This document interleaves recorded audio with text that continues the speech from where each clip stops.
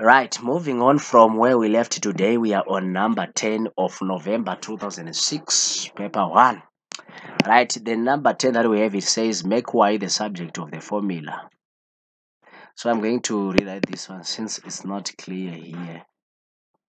So it's something like m equivalent to root 1 minus y all over 1 plus y. So what are you going to do first of all? If you have a square root, remove square root by squaring both sides. You remove square root by squaring both sides. So you're going to left with m squared equivalent to 1 minus y or over 1 plus y. Then you're going to say over 1. The question is saying make y the subject. So to make y the subject, it means we just see a y require yega. So I'm going to do cross multiplication. This one is going to multiply this one, and this one is going to multiply this one.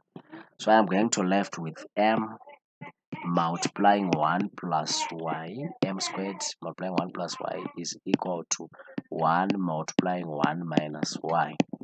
Then this one times this one, I'm going to left with m squared plus m squared y equivalent to 1 times 1 I'm going to get 1 then 1 times this one I'm going to get minus y so after this you need to be careful because our question is saying make y the subject of the formula. So now takuchitanga manje kuchigrupa matems edu dzine subject dzichienda kwadzo dzega dzisina subject dziendawo kwadzo dzega. So kuno kuti chasara nani? Uh, tofanira kuavoida again subject redu kuti risabuda riine negative. So zviri wise kutora minus y osvika uku then totora this one yoenda uku.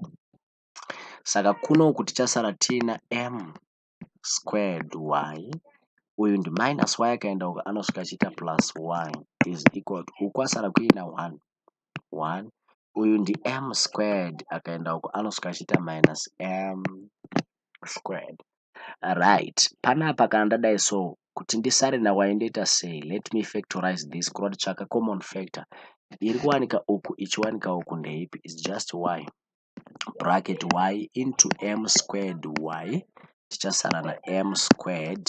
Since y and y they cancel each other plus y into y is just 1 equivalent to 1 minus m to the power of 2 right then after that for you to get the value of y or to make y the subject of the formula you're going to divide both sides by the bracket. Since you only need y so you're going to divide both sides by bracket which is m squared plus 1 m squared plus 1 so this one into this one. Y is equal to 1 minus m squared all over m squared plus 1 okay? So on this one so this one will be our final answer. So that's it guys and i hope i won about three marks. I hope you are assisted. So meet you in the next one